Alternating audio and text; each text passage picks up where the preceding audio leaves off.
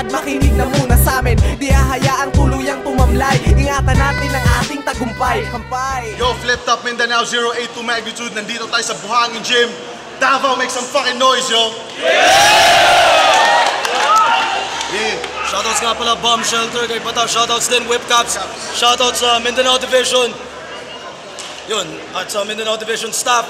Ito, laban sa kanan. Galing sa Minefields tryouts pa. Mula Digos pa representing General Luna. Magingay para kay Nicky. Mga utak na tuyo nang sa akin tinapat Mga may tupak tumino nang diin kong sinalat Bawat upak ko layo kung ayaw mo magkasugat Lahat butak sa laro nagsibalikan pa sa gubat General Luna, Supreme Blood, shoutouts DRP, Technical Angas, boss tayong Villarreal, Villarreal family, OC Didoy from UK Pips. At sa kaliwa naman, representing Carabineros, magingay para kay Cool Kid. Mataas ang hagdanan ay hindi aatras Kapag nagsama-sama ay sobrang tindi ng lakas Ng pagsabog binulabog namin lahat ng makitid Maraming nalunod kasi di marunong sumisid King Records, Carabineros, shoutouts kay Miko sa Crazy Family at happy birthday sa mama ko. I love you. Happy birthday sa mama ni Kid. Ah, nag-coin toss na kanina. Unang banat kay Nicky, pakinggan oh. Yo! Cool kid! Halatang bata ka pa! Dapat ka, na- ka pang turuan! Ha? Dapat ka pang turuan! Para kang si Dave Hill kanina kasi ang sarap mong paglaruan! Yo! May sinabi ni Dave Hill kanina na pangit ako, nagsigawan ng mga crowd. Otot pangit ako pero I, I, ako ay proud! Libat yun, tanga. Yo, unang pasok ka sa liga. Kita ko na sa height mo ang iyong pagmamaliit. Porque Nicky lang ang kalaban, General Luna, di na yan gagawa ng mga barang malupit. Real talk, isa yan sa ugali ng mga nauna. Porque sa laro ay bago lang, tingin agad sa amin ay baguhan. Mga bara pang newbie. Pues, isa ka ngayon sa mabibiglat, mamamangha sa mga tira kong gawa na para bang unang pasok sa liga ni Kobe. Cool kid, hindi naman natihan to. Kaya tatanggalin ko ang old sa pangalan niya para maging si Kobe to. Hindi ka bagay sa libong TF mo, bagay sa'yo 20 piso kasi cornito. At busog ang MC to sa bawat linya kong hinanda na mala fiesta. Napili mo lang naman ang pangalang Cool Kid para sabihin ng iba na kadugo mo yung battle MC na rallyista. Sa akin mas malupit ka? Hindi. Eh, isa ka ng tubig ulan na ilalagay ko sa isang rice cooker. Init ko mala volcano crater na itinapat sa isang batang ice water. Babalututin ko ang buto na bahagi na to. Ako ang literal na air bender. I'm a good hunter. Sa laban na to, isa ka lang eating eagle lang kalinan kasi ikaw ngayon ay in danger. Yeah. Kaya tawagin mo akong Alexander. Bawat taktika planado, kaya planchado bawat pagsalakay. Talino ko parang Shira Silver. Kasi high proof na may tama ang bawat tagay. At ang battle na to, para lang birthday ko at ikaw yung birthday candle na nasa birthday cake nakalagay. In other words, sumasaya lahat ng tao sa paligid ko habang ikay aking pinapatay. Unang banat, Cool Kid, pakinggan. Game. Pakinggan, pakinggan oh. Yo! Pakinggan, pakinggan. Flip top 082 magnitude, ikadua! Yeah! Lupit ng mga nasa lineup nakalista! Sir Rari, kumusta? Sa wakas sa paghihintay ko'y tapos na! Alam ko magpapatawa, laos na, pero sana nagsuot ka ng brief sa mukha mo, bastos ka! Sigurado ka ba sa pinto ang pinasukan mo? Sigurado ka ba na ako papatulan mo? Eh, hindi pa nga nakatry makipagsuntukan ko, pero ayos lang! Kasi first time ko uminom ng Red Horse na kabayo ang pulutan ko! Feel mo gwapo ka? Tarantado ka! Gago ka kung inaakala mong mananalo ka! Dahil kahit sa tryouts pasado ka, ang pinasukan mo ako ang susi, kaya bugbog sarado ka! At pagsisisihan mo kung bakit ka pa nandito! Mas gusto ko sana makalaban ay si Iho! Kasi yung utak ko mas mataba pa to kay Miko para ikumpara lang sa utak mo na mas blanco pa kay Rico! Kung wala pang flip top, asan ka? Nung bumatel mga taga Davao, nakakaselos ba? Kayo wag mo akong yayabangan dito, etchos ka kasi wala pang flip top sa YouTube. May karabineros na! Pero wala, wala. Gusto niya maging in, kaya pagmasdan niyo ko kung paano pumatay ng bobo. Kasi hindi ka naman baby bear, pero bakit lagi kang sumasabay sa oso? Di ba muntik ka nang ilunod ng tatay mo sa dagat?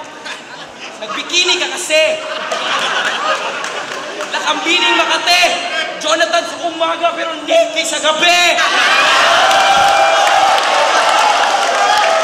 Bakit ka ba kasi sumali? Eh, imposible mo ako madali. Tignan mo, halos wala ka nang masabi at paano mo aangasan ng pag-atake kung pangalan mo pa babae! Time! Time! Paano ka ba? Kaya Yo! Si Cool Kid halata sobrang saucy! Magsusuot ako ng brief sa mukha basta magsuot ka rin sa mukha mo ng panty! cool Kid! Sa akin matayan! Tinira yung pagiging hip-hop ko! Last 2004, champion ako sa Digo sa freestyle at lately sa Cagayan! Sa totoo lang, pinaglalaroan ko lang ang batang to. Tol, sorry. Pag nagawa mong ikwento ang battle na to sa mga kaibigan mo, yun ang toy story. And I accept the reality. Nalitaw nito sa Davao ang pagiging MC mo. Pero ako ang papalubog sa'yo. Tawagin mo akong kuwagilat. Aminin mo man o hindi sa sarili mo, cool kid, na naging cool ka lang naman kasi may sack kang refrigerant. At oo, alam nyo ba, at alam nyo ba na mauso sa laro ang magpa-ghost ride?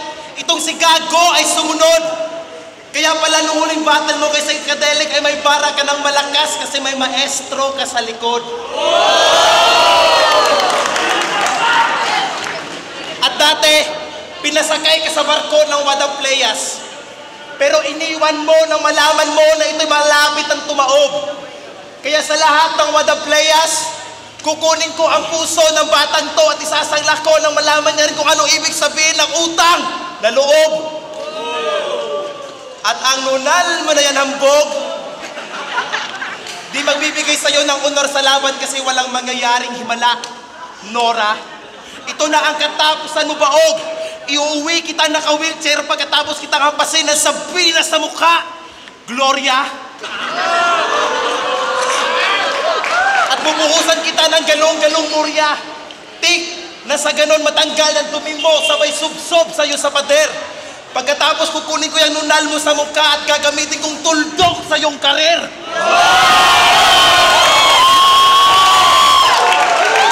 Kaya tapos, kaya tapos na ang kaso. Kasi nahanap ko na ang hayop na to. Call me Ace Ventura. Panahon man ay tumakbo, nag-a-upgrade ang kalidad at bilis ko. Parang Toyota Corolla. At sa larong to, kahit may dayaan, wala kang makukuha ang komisyon. Parang weteng payola, tira mo kay daling ilagan kasi iisa lang yung alam mong posisyon. Mr. Wally Bayola.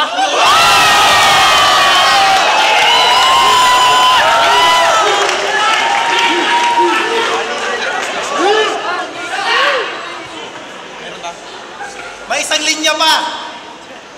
Fuck you ka. Time na.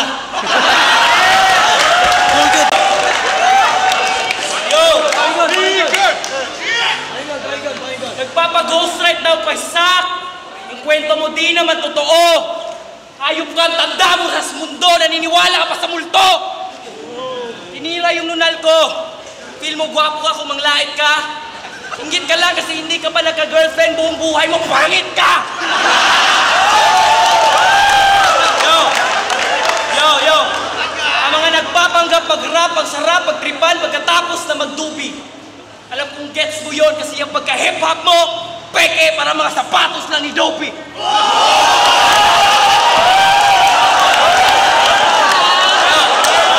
Yo, yo! Yo, yo! Kaya Dopey, Dopey, huwag ka mag-hate kasi hate kills!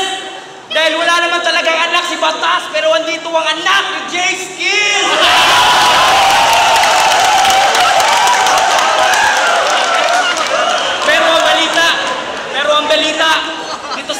bawal ang mga wak, boss, tutuhugin ko General Luna sa matulis na kawayan ng General Santos. Dahil ko pang martial matters law ni Marcos dahil kung si Eminem ang rap god, sa Mindanao kami ang rap boss. Kasi solid kami magsulat at malinaw pag nag-freestyle. Eh ikaw sa sobrang laki ng bunganga mo, mukha ka ng halimaw pag nag-smile. alam ko pag alam ko ang paglalait ay bad, pero di ko na kailangan mag-sorry pa kay God. Ang kapangitan mo sagad. Kahit wala pang krimen yung mukha mo, suspect na agad.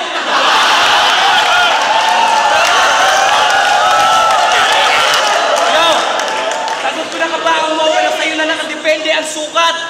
Hindi ka mukhang MC Hoy, mukha ka rebelde sa gubat. Kaya magpakamatay ka na lang, baka mabad trip ka lang boy. Huwag mo antaying magalit ako mo ng pasi na lang, Choy! Para kasunog na unggoy, literal na galing sa apoy. Nung dumating ka sa flip top, si Black Lip nagitisoy!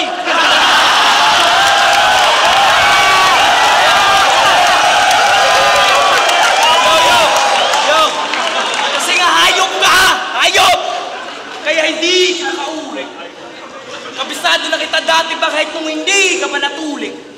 Kung ang pagrarap naging business, matagal ka nang nalugi. Malakas bumenta mga taga Davao kasi marami kaming suki. Kaya,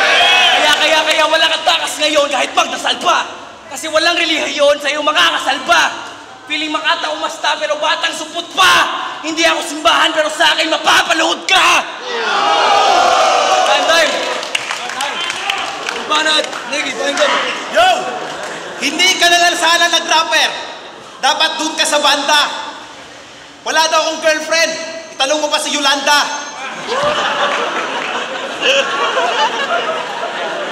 Yo! Nakapagtataka kung ba't nasali ka dito sa aming kultura. O dito sa Davao marami, marami kayong suki kasi palagi kayong nagmumura. Yo! Halatang gumagaya ka lang kay Luni. At dahil doon, isa ka rin sa mga tinutukoy ni Glock 9 sa kanta niyang Elmer Fu. Mabilis kang, ma- mahilig kang dumikit sa malakas pumapel na MC. Dapat pangalan mo Elmer's Blue. Ito lang, ito lang yung napansin ko. Sobrang laki pala ng mata mo. Sa laki, kaya mong mamboso sa banyo ng lalaki ng malayuan. At sa laki ng mata mo, sa tuwing tumitingin ka sa mapa, nakikita mo si Sir Enigma habang ikay kinakawayan. At si Black Cliff habang ikay pinapakyuhan. Yo! At yung kabubuhan mo, Great Wall of China. Pag sinukat natin sa pamamagitan ng bricks to, in a scale of 1 to 10, 1 is the highest, scale ng kabubuhan mo ang gagamitin ko sa'yo sa labang to. I, X, U. At yung estilo mo, sobrang dami nang gumagamit parang lingwahe ng Mandarin. At sa sobrang dilaw ng ngipin mo, men, kaya mo mag-spit ng rhymes na may halong margarin. At di ka pa lubang magaling. Kasi puro generics na naibigay at naiturok sa'yo ng doktor mo. Isa siya sa maghihinang peace ngayong gabi, kasabay ng mga kaibigan mo habang minamastan kang tinutorture ko. Ba't ito pa yung naging contender ko? Eh mas cool pa sa'yo ang condenser ko. Kaya nasa danger to. Isa ang bitch na to sa dahilan kung ba't ginawa ng Panginoon ang middle finger ko. At sa at sa organizer, kay Boss Blackleaf, Sir Enigma, taos puso po ako nagpapasalamat sa inyong imbitasyon sa isang bihirang pagkakataon na matupad ang aking simpleng ambisyon. At sa lahat, inaamin namin na kaming mga Bisaya ay medyo may kakulangan sa English at Tagalog diction o kahit Bisaya, kaya namin makipagtawiran sa intersection ng ligang to kahit naka-green light. So stop those fucking discrimination!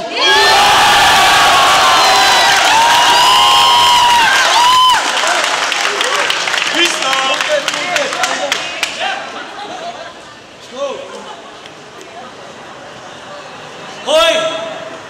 Pangit! Ihambalos, dugyot! Di ako naniniwala sa'yo kasi yung sapatos mo pang dugyot. Putang ina, ako ibang klase kapag bumanat, may bakas at marka. Kikilabutan ka kapag nagsusulat ng kanta.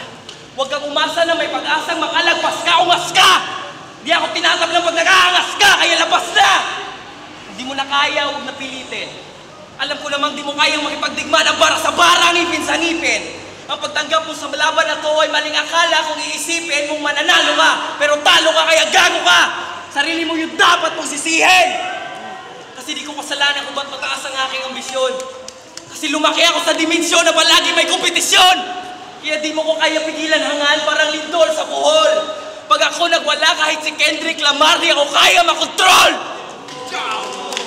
Yo, sabi niya sa tryouts, mga lines ko parang goto with egg, solid.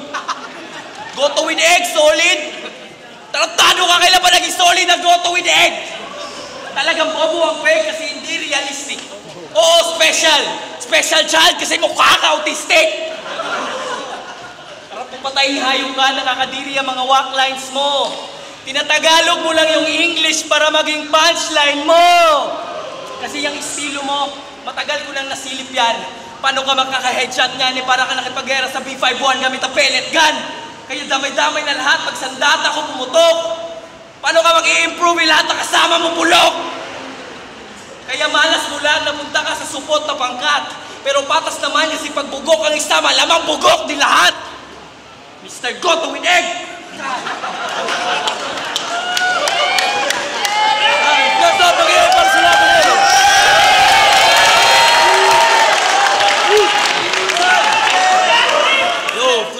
Mindanao, nandito pa rin OA2 Magnitude Kaduha. Maraming salamat ulit sa suporta niyo lahat. Ito, ah, kalahati pa lang yung mga laban natin ngayong gabi. Ang laban, Nicky Galing Digos versus Cool Kid. Ang boto, 4-1 para kay Cool Kid. Yo! Yo, shoutouts din pala sa One of Players kay Jay Lagnayo sa pagtulong sa para mabuo tong event na to. Yeah, tsaka Max Ford. sa bagong disclosure. Hard work plus talent equals success. Ang binoto ko si Cool Kid. Bakit? Um, round 1, lumamang siya ng ano, I think two lights to sa binitawan ni Mickey. Then round 2, ganun din, almost the same lang din yung paluan pero binigyan ko pa rin ng punto si ano, si Cool Kid. Then number 3, round 3, binigay ko kay ano, kay Nicky kasi oh, malakas. Pagdating kasi ng round 3, yung Mina, yung hindi naging consistent si ano, si Cool Kid. Kaya binigay ko yung boto ko kay Cool Kid.